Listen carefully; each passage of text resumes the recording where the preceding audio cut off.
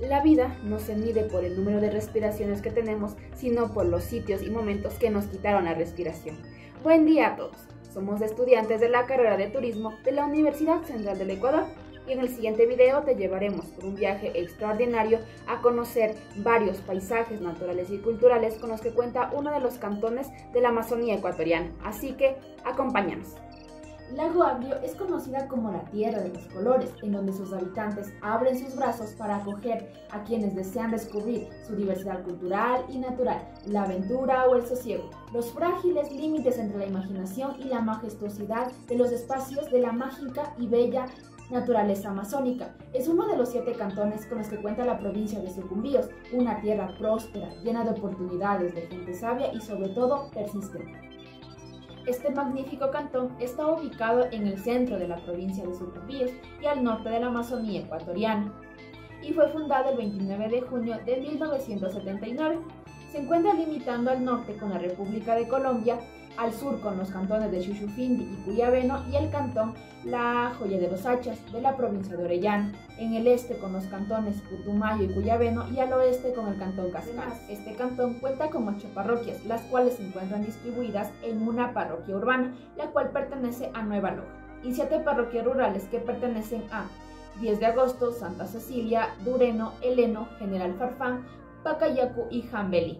En cuanto a la orografía con la que cuenta el Cantón Lago Agrio, se caracteriza por la presencia predominante de dos grandes tipos de relieve, como son colinado medio y de llanuras bajas, el cual se debe a la ubicación geográfica relacionada con el Ecuador y además lo hace acreedor de grandes paisajes montañosos y llenos de selva amazónica, además de contar con un recurso hidrográfico sensacional rodeado por dos grandes cuencas hidrográficas, siendo estas el río Aguarico y el de San. Con respecto al clima, destacan dos de ellos, como son el megatérmico lluvioso con temperaturas medias anuales que varían entre los 18 y 22 grados centígrados y un clima tropical megatérmico húmedo con temperaturas que oscilan entre los 12 y 18 grados centígrados.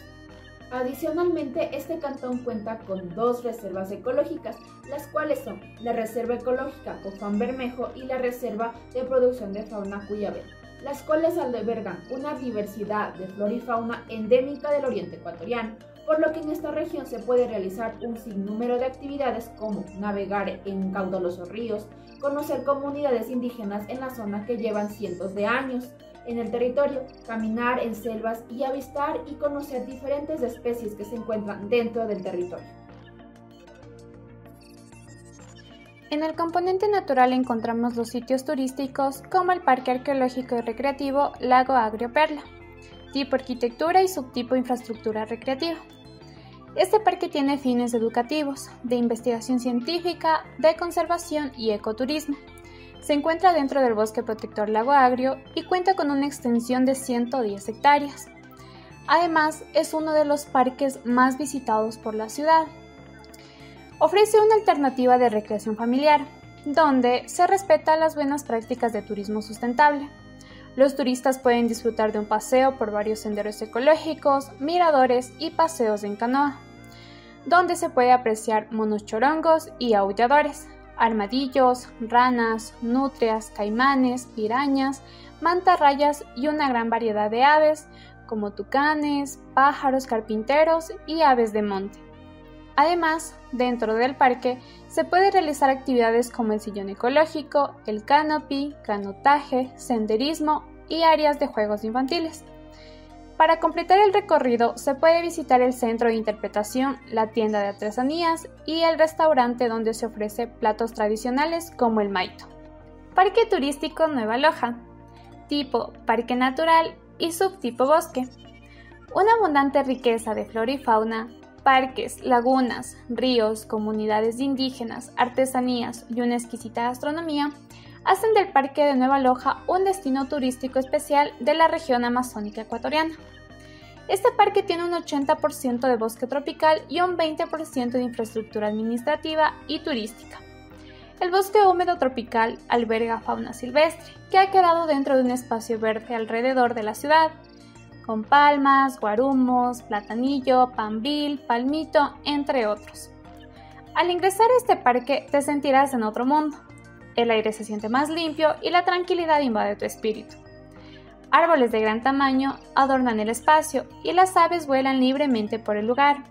Existen guacamayos, pericos y loros por todo el parque. Además, cuentan con senderos, herpetarios, cultura y fauna. De igual forma, se puede degustar de diferentes platos típicos de la zona, como el maito de pescado, paiche frito y chuleta asada. Las actividades turísticas que se pueden realizar son la observación de flora y fauna, senderismo, caminata y fotografía. Centro turístico La Sirenita, tipo arquitectura y subtipo espacio público. Se encuentra ubicada en el kilómetro 4 en la vía Colombia. Es un centro recreacional familiar que cuenta con todos los servicios básicos que sirve para la distracción y relajación de los visitantes en armonía con la naturaleza. La pesca deportiva cuenta con piscinas naturales de diferentes medidas, adecuadas para realizar pesca de carachama, tilapia y boca chicos, de hasta 4 kilos. Además, el restaurante ofrece especialidades de platos a base de pescado cachama y tilapia. Ofrecen bebidas de frutos naturales cultivados en la zona. Cuenta con una piscina para niños y una para adultos. Dispone de una cancha de boli y una de fútbol con césped además de columpios, caballitos móviles para los más pequeños. Los servicios que prestan el lugar son todos los días, incluidos los feriados. El horario de atención es de 9 de la mañana a 8 de la noche. La entrada al complejo no tiene costo y los precios dependen de las actividades o servicios demandados durante la visita al complejo. Laguna Julio Marín. Tipo ambientes lacustres y subtipo laguna se encuentra ubicada a la altura del kilómetro 2 de la vía Lago Agrio. Tiene una dimensión de 80 metros de ancho por 200 metros de largo. Su alrededor está cubierto por maní forrajero y árboles nativos de la zona que le dan a la laguna aires de selva tropical. Los servicios disponibles que hay son botes de remo y pedal, plataforma escénica, senderos empedrados, puerto embarcadero y un puente que atraviesa el riachuelo que alimenta la laguna. Junto a este hermoso atractivo también se puede encontrar un parque infantil donde los niños pueden divertirse. Todas las instalaciones están a disposición de la ciudadanía y sin costo alguno. Es un lugar muy tranquilo que se puede visitar. Comunidad Cofán Se encuentra ubicada a las orillas del río Aguarico, a 30 minutos de la ciudad del Lago Abre. Las viviendas de esta comunidad son elaboradas a base de caña, paja y cemento. Este lugar cuenta con bosques primarios, ríos, humedales misteriosos y además de miles de animales y plantas. La vestimenta de la comunidad cofandureno es muy colorida. Los hombres resaltan por sus coronas de plumas, collares elaborados de dientes de animales y semillas.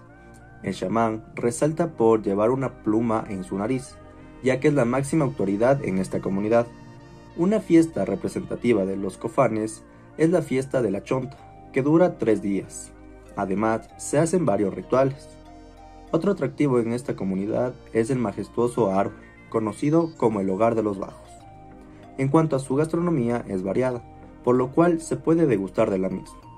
Y por último, las artesanías son elaboradas a base de dientes de animales y semillas, mayormente las realizan las mujeres. Monumento a la identidad de sucumbíos se encuentra en el ingreso a la ciudad de Nueva Loja, antes conocida como el Lago Agrio. Los elementos que encontramos en este monumento representan a los habitantes locales de pueblos y nacionalidades. Muchos de ellos vivieron episodios de sufrimiento y sacrificio frente al proceso de colonización, durante y después de la llegada de las petroleras. Los personajes de este monumento exhiben la lucha constante por conservar su cultura, sus costumbres, sus tradiciones, su territorio y sobre todo su vida y la de su familia. Las fiestas que se celebran dentro del Cantón Lago Agrio se encuentra la fiesta de la Chonta que pertenece a la categoría manifestaciones culturales y tipo acontecimientos programados. Esta fiesta se la celebra a 30 minutos del lago Agrio cruzando el río Huerico en la comunidad Copandureno, quienes celebran cada año el final de la cosecha de la chonta como un tributo a sus antepasados debido a que ellos dejaron esta fecha como un legado para agradecer a la tierra por los frutos recibidos que son fundamentales para su alimentación.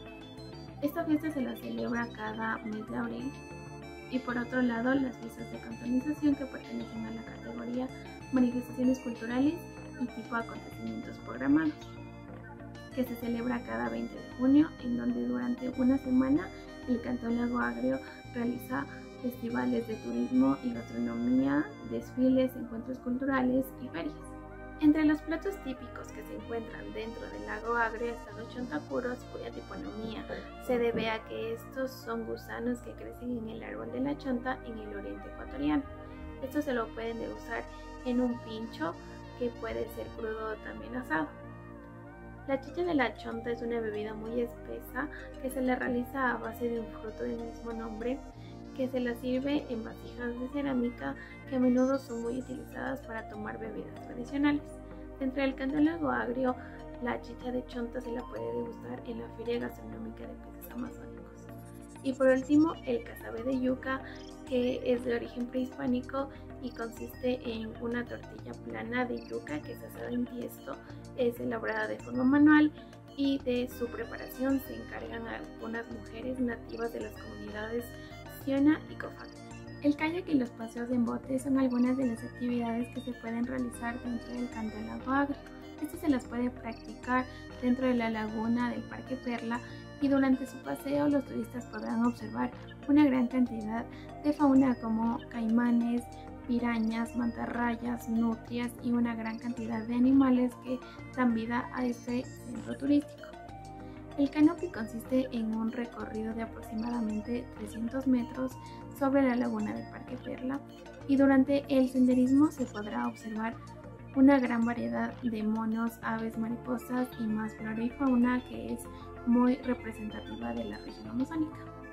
Y por último, eh, la observación de aves o también llamado el aviturismo se lo puede realizar en algunos lugares como el Parque Perla, el Parque Recreativo Nueva Loja, la Laguna Julio Marín y otros sitios turísticos donde se puede observar una gran cantidad de aves como los carpinteros, las pavas de monte y los tucanes.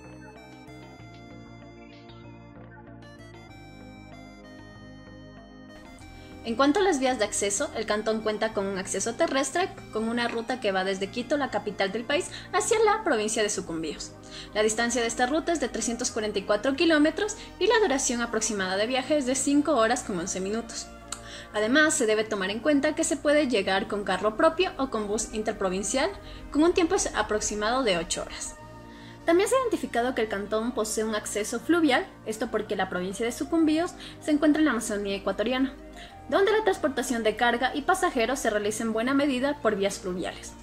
Los principales ríos de viaje son el de el río Putumayo, el río San Miguel, Aguarico y el río Napo.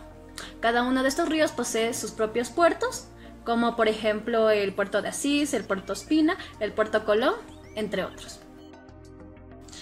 En cuanto a la estructura empresarial, se muestra un gráfico de barras donde se encuentra el respectivo porcentaje de infraestructura turística dentro del cantón. Como podrán observar, en la actividad de alimentos y bebidas se tiene un porcentaje del 37,96% en relación con el total de servicios ofertados en el cantón. La actividad de alojamiento posee un 49,14%, intermediación en un 0,86%, operación e intermediación turística consta de un 5,17%, mientras que parques de atracción estables y transporte turístico comparten un porcentaje de 3,45%.